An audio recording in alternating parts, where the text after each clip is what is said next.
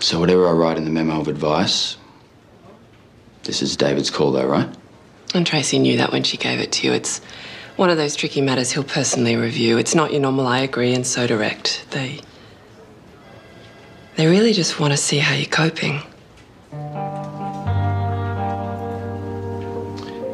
If I can stay calm and apply sound legal advice to all the issues. Correct. Why do I feel like the kid whose teachers just told him what's in the exam? You still have to pass the test, though.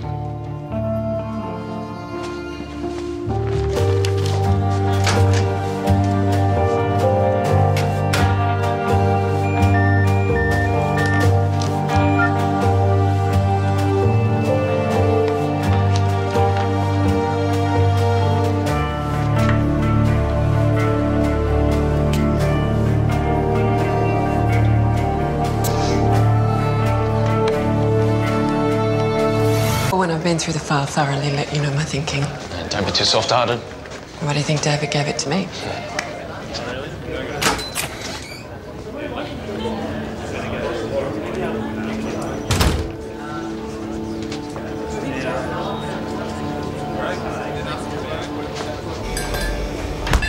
Janet, hi. Can I get you a cup of tea?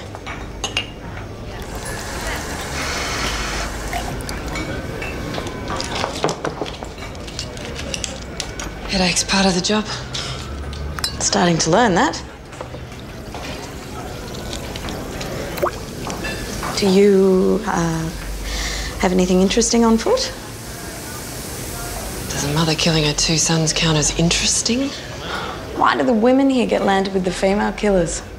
I mean, I know why, but why? You're on the Mervich case with Reese, aren't you? The bolt cutter babes?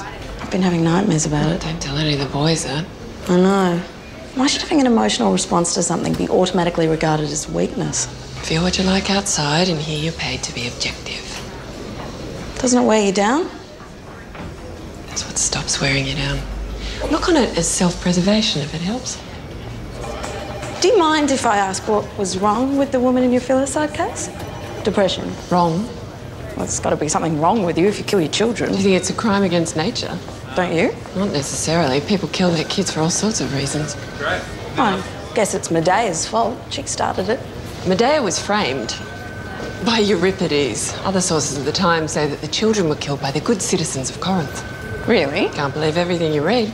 But was your defendant in her right mind? Should I ask her if there was a policeman standing at her elbow? A policeman? It's a modification of the McNaughton test, which is Um, Norton's the basis for the common law defence of insanity. Says that it's not fair to hold a person responsible for acts he or she couldn't control or didn't recognise as wrong. very good. Where's the policeman's elbow fit in? Well, it poses the question would the defendant still have committed the crime if there were a policeman standing at her elbow? I bet Tracy's you started work on the Wallace case. More happy families, yes. Do you know who you want to put on it? I was thinking Erin. She is already instructing on the Mervich case with Reese Kowalski. It's a big job. We've already had some preliminary discussions about it. Ben McMahon's been pretty quiet. We've been keeping him on lighter stuff since his grandfather's murder, but I think he's ready for more. He could be good. You've always been keen on the handsome young men, haven't you? He's very bright. I think he's been underutilised in his time with us. I'm sure you do. And a male perspective could be useful in this case. Oh, but it's your choice, of course. Yes, it is. Thank you, Tracy.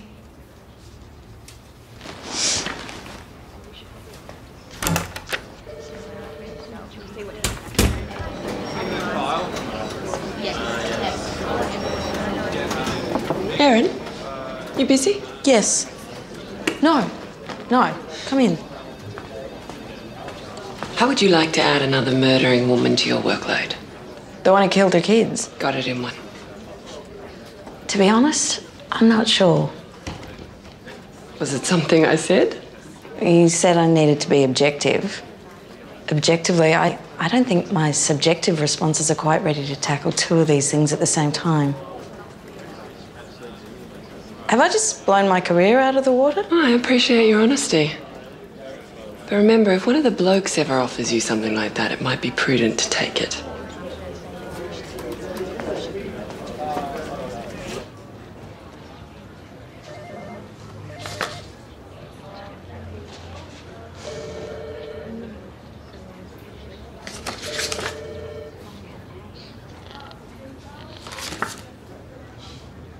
Pity the defendant's not a bloke.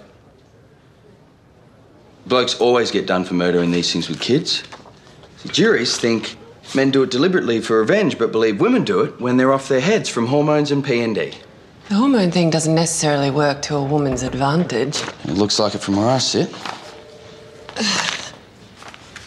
Thanks.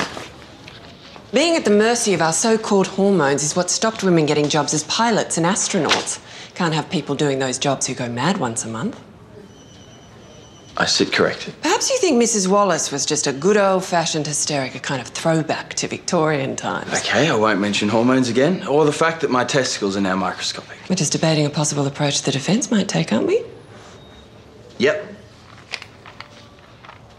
Working with Janet King again? Janet, I think we should pursue a murder charge. No hormones? I believe we can show mental capacity. Where's the evidence of intention? The fact that she sedated the children before smothering them would indicate she thought she was doing something distressing to them. Something distressing might not be enough to establish mens rea, but go on. She tried killing herself whilst waiting for the ambulance. I mean, doesn't that suggest that she knew she'd done something terribly wrong? Do we know that the deaths of the children are definitely the reason she attempted suicide? She just killed her own children. It's not exactly a stretch of the imagination. What's a possible motive? I thought we only need to provide intent. It's not essential, but motive can help prove intent. Okay, um. How about they're about to separate? Exactly. Oh, I've organised for Josh Wallace to come in and talk to us tomorrow. Thanks. Ben, Yeah, it won't always be dead kids. better not be. I'm with you on that. Go in. I'm heading home to a computer that gives me net access. Yes, I heard about that. You're welcome to use my computer anytime I'm not on it. Oh, thanks. I've been thinking about the overlap between your child killer and my bolt cutter women. Yes? Could it be argued that the battered woman syndrome attracts the McNaughton rule? They were so traumatised that they couldn't understand the act was wrong? I haven't heard it used like that, but I'd say it's arguable. Cool. Thanks. See you tomorrow. Oh, and thanks for offering me that case today. I really appreciate it. I did it for purely selfish motives. And thanks for the advice, too, you know, about turning stuff down. You would have learned eventually. Well, thanks for the shortcut.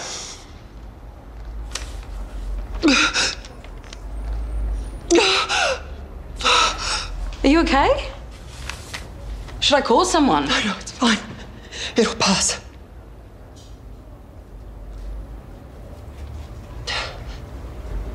Oh, that's a bit melodramatic, wasn't it? Are you sure you're all right? I'm sorry. It's none of my business. I'll, I'll go home and leave you in peace. I'm on IVF. Oh, that sounds melodramatic too, doesn't it? So I just.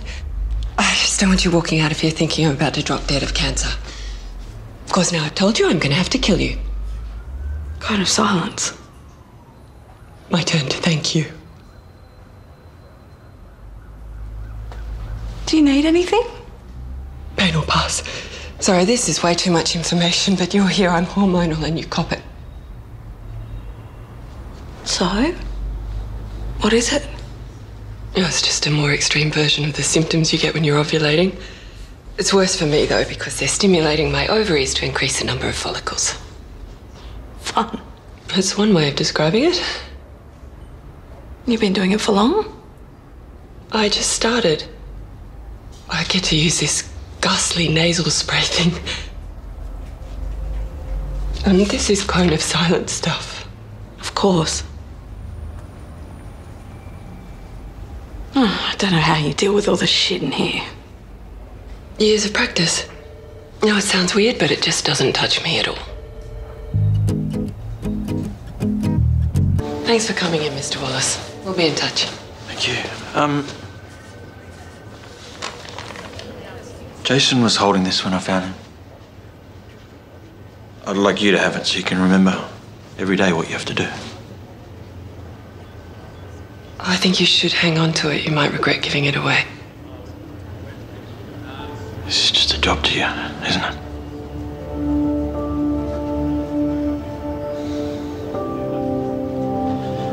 Maybe seeing that every morning will remind you what's real.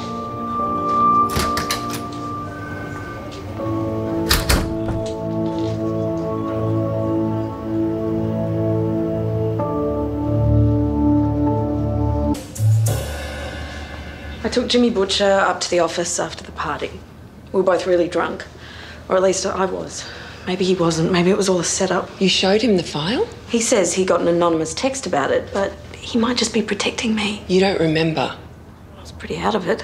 Some bits of the night are a complete blank. Is that what you told the police? They haven't spoken to me yet. What? Well, sometimes they hold off questioning their lead suspect, hoping they'll relax and do something to incriminate themselves. Like arrange to meet Jimmy in public, which is what I've just done. Do you believe Jimmy? I don't think I trust him. Was it his suggestion to go up to the office? I really don't know. Well, if someone had tipped him off, he could have been on the hunt for the file. Yeah, but that could have been me at the party. Do I go to the police? Risk your job over something you might not have done. I don't know what else to do. Wait. Thank you. I've got no one to talk to about this. You got a couple of secrets of mine, too. Thanks.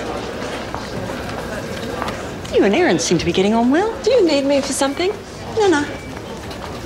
She's quite attractive, isn't she? I'm sure Reese thinks so too. Fuck off, Tracy.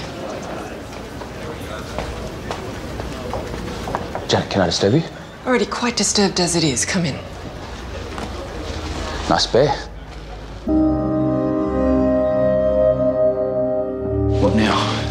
No proof of Mary's pre existing illness. Ruth would be a pretty compelling witness. Who might not want to testify. So we talk her into it. Well, it just depends how scared of Josh she is, and if she does, it's her word against Josh's, and they both have an agenda one to protect and one to destroy. Wouldn't Mary's diary be material evidence of her mental instability? If it ever existed, we've only got Ruth's word. Well, if he did, then Josh could be charged with perverting the course of justice. He's a grief stricken father who's just lost everything. He might not have known what he was doing was wrong. What, even threatening Ruth? If he did, What, you don't believe her? it's not a matter of believing someone, it's a matter of assessing the available evidence and proceeding. But Janet, there. Janet, two kids are dead here, yeah? I know. But whenever you get overwhelmed by the emotion of it, go back to first principles. You win. I'll never be tougher than you are. Let me know when the psych report comes in.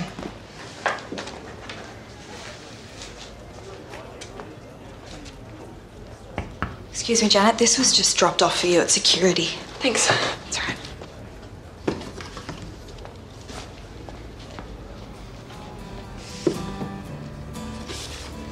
Yeah,